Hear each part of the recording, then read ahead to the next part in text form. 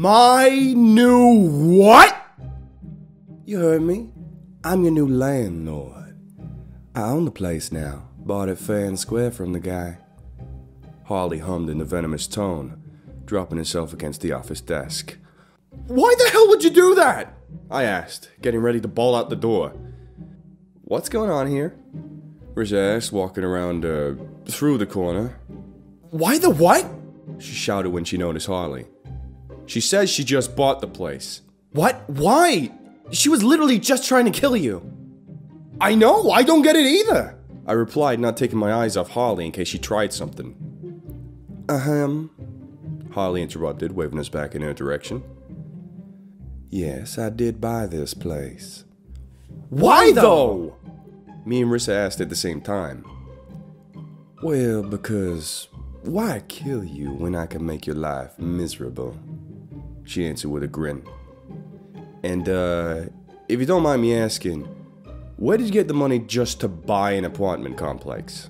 I asked, curiosity slowly starting to take the place of alarm and terror. Not that it's any of your business, but I borrowed it. Borrowed? From who? I asked a little louder, and for some reason, in an intrusive tone of concern. Well, if you must know, I asked for a loan from Dirty Work Inc. And they just gave it to you after you tried to kill me? I barked. Yes, they tend to be pretty impartial most of the time. Okay, wait. One more question. Have you, like, ever ran an apartment complex? Or any kind of business before? I asked, a thought starting to form in my head. Well, no. But how hard can it be? She replied indignantly. I'm not stupid. Okay, okay. Wait, wait, wait, wait, wait. So let me get this straight real quick. You're telling me you've never ran a business before, but you took out a loan for an ungodly whatever amount I'm sure this all cost from Dirty Work Inc., the sketchiest people to ever crawl out from under a rock, just to take the piss out of me? I question, the look on her face starting to change from one of triumph to one of annoyance. Yes? So what?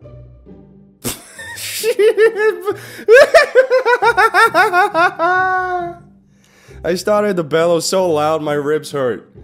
No, no, nothing. Just, just take it easy on me, okay? I added, laughing my way out of the door. Both Harley and Rissa looking dumbfounded. The hell was that about? Rissa asked when she caught up with me. If Harley was half as smart as she thought she is, her brain would be three sizes too big for her head, I answered. Okay, look.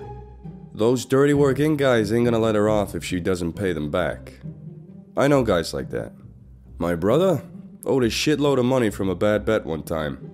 The guys he owed found me and broke my leg with a Louisville slugger. Took me forever to recover. And as bad as those guys were, those Dirty Work Inc. guys, they're way worse.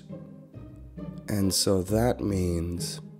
It means she doesn't have a clue what she's doing. Julie. I paused for a second to get myself together.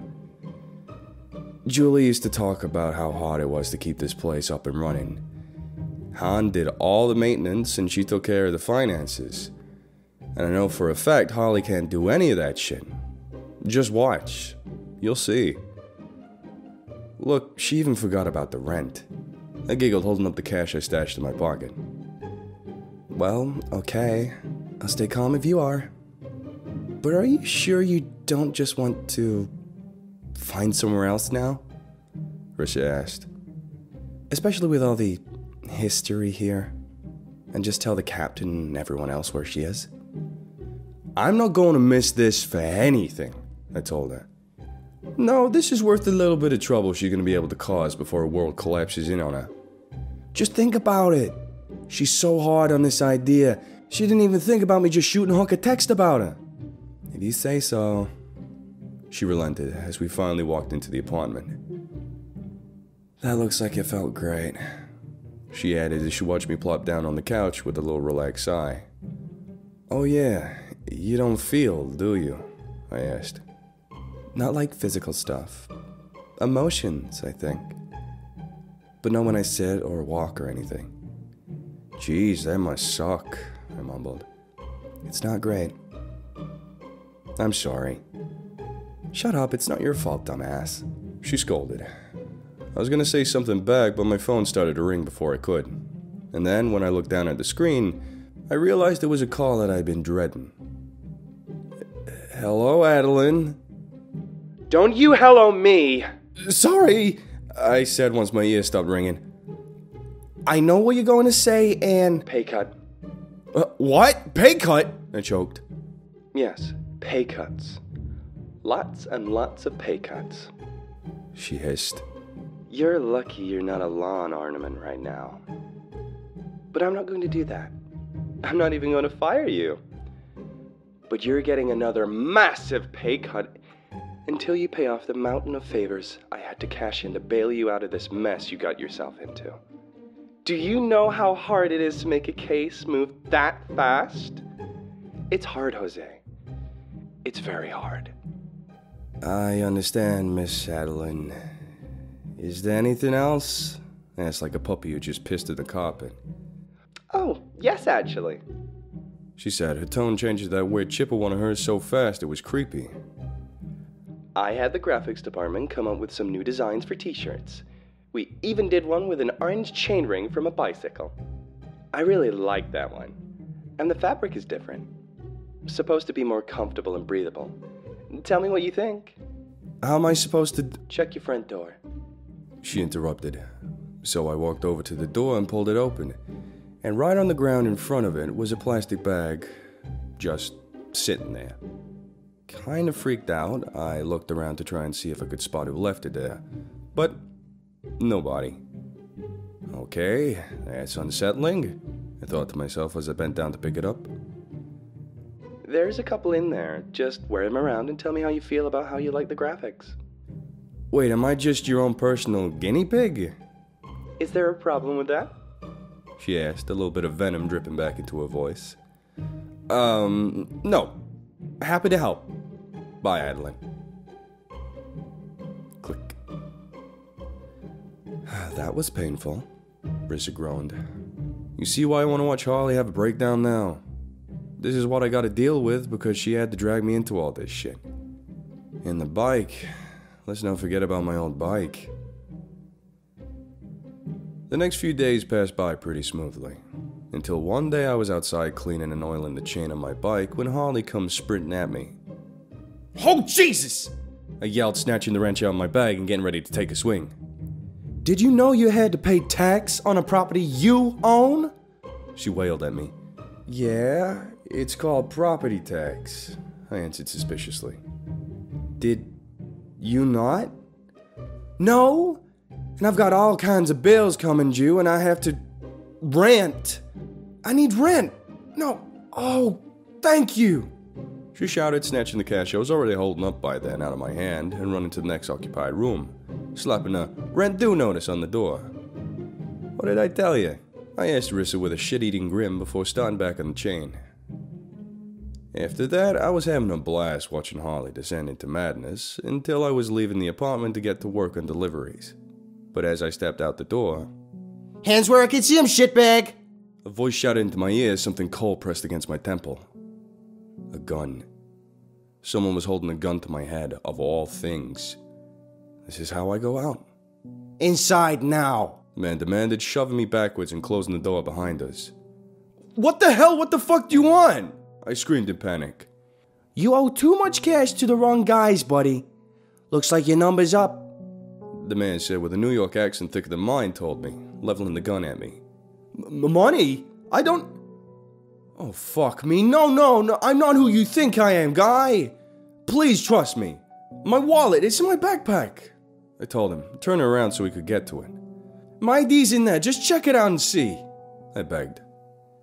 How do I know this ain't a fake? He asked, glancing back and forth between me and the picture. You look just like him except for the gross scars and shit. You're looking for my brother? I explained, my hand still in the air. My identical twin brother? Swear to God, it ain't me. I've had to deal with bullshit like this for years. Guy broke my leg thinking I was him once. Please, you gotta believe me. So where's this guy? The man asked, throwing the wallet on the coffee table. I don't know. He's been missing for months. He disappears all the time. Because, well. I trailed off, gesturing vaguely at the present situation. This shit! You're serious, aren't you? The guy asked, finally lowering the gun. Oh, well. My bad, I guess. He apologized before turning and just walking out the door like nothing happened. What the actual fuck? I groaned, flopping down on the couch. Bing. I banged my fist against the rusted metal door in the alley. Hurry up so I can get this over with, I barked. A few seconds later, the door creaked open as the container poked out. I snatched the plastic box out of the hand and set a marker for the destination. Several days had passed since the lunatic had held me at gunpoint, and I was still a little on edge. Uh, well, more on edge than I usually was. Yeah, I shouted, ignoring all the usual delivery etiquette for the creepy concrete place and just shoving the container into his hands. You sure you don't want to know why I. No! I answered before he could finish, swinging my leg on my bike and riding off without looking. Just make the damn Les Grossman movie! The rest of the night went fairly normal. I even got to stop by Relic's place when he made an order. On my way home, I heard my phone beep. It was a text from Destiny. I forgot I'd sent her the text earlier that day asking about how her, her sister, and her, uh, Dracula were doing dealing with Fate's death. We're getting there, her message read. So I rolled into the parking lot for a second to text her back. Okay, let me know if you guys need anything, I told her. As I put my phone back into my backpack, I noticed some dumpy guy lurking around the parking lot looking kinda suspicious. But spending so much time around all the nightly bumpy creatures and having a gun pressed in my head a few days before, it didn't give me the willies like it probably would have before. Not my problem, I whispered as I pedaled away into the night. The next few days were pretty average, too. You know, relative to the base level of nonsense that is my day to day. But nothing unusual. That was until the day Destiny came over to finally hang out together again. Hey, question. Where is your bike? She asked, looking around the living room where I normally sat. Where's my what now? I responded as I followed down the stairs behind her. Where the hell is it? I screamed at the top of my lungs as I crashed through the front door. Jose, calm down. I'm sure we can find it.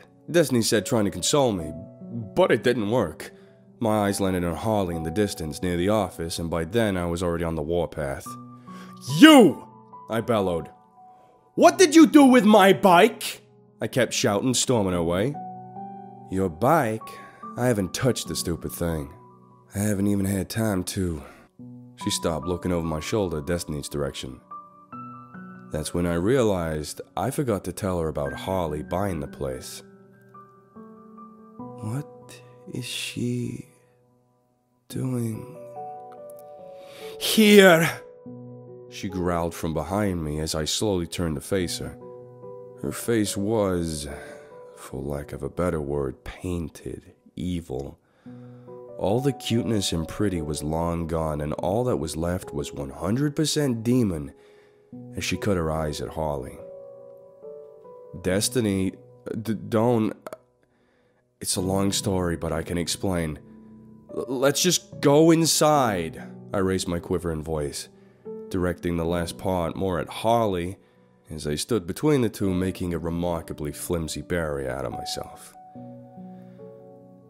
I have no idea how I got everyone through that without blood being shed, but I finally got Destiny back inside, and let's call it somewhat calmed down.